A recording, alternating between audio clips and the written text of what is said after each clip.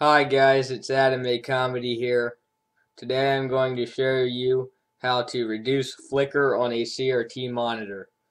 So first you want to go to your desktop and right click, go to screen resolution, and go to advanced settings and go to the monitor tab. Now under screen refresh rate, you want to turn uh, that up.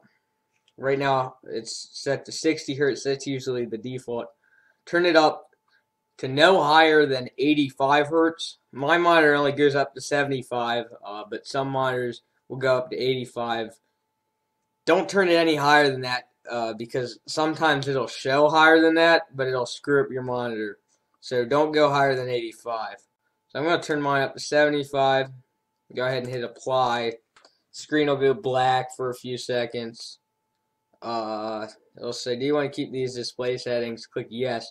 Now, if your screen goes black and you don't see anything, just wait about 15 seconds, um, and then it will revert back to whatever you had before, because sometimes that can be an issue.